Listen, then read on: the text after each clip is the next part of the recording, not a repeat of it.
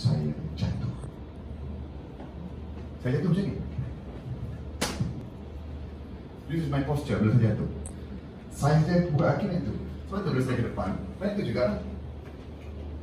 Dan berbahagia Tan Sri Tan Sri, Puan Sri Puan Sri, Datuk-Datuk, Datuk-Datuk, Tuan-Tuan, Puan-Puan, hadirin yang dihormati sekalian. Tengok, bukaan saya macam tu. Takkan saya macam tu? Tak kira eh. Over namanya.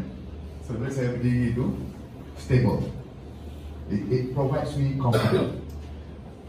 Kalau tak ada rostrum dan kita berdiri di atas pentas dengan pegang mikrofon. Now, benda tu di rostrum.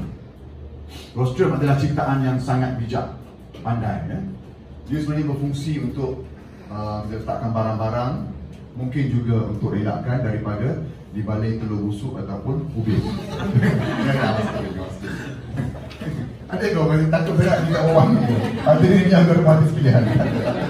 Dia bila Rostrum ni kena diberi keberanian pada kita sebab kita rasa macam ada protection kan. Baik. Ambil kita di sini, tips dia. Stand tu. Semua orang buat macam ni, please. Banyak ni saja antara mulut dengan mikrofon.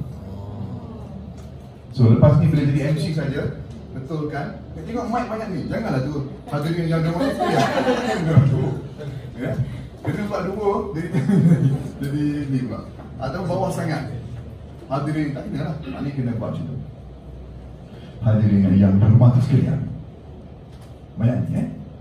Betul kan? Dan sebenarnya kalau betul-betul detail lah eh. It's not like this.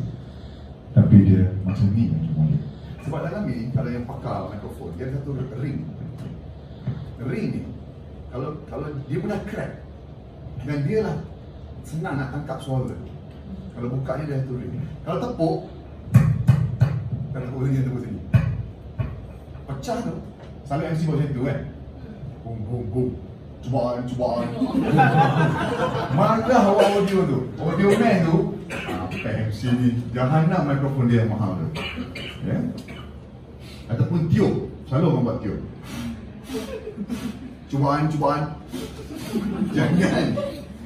Tiup-tiup mana tiup sini.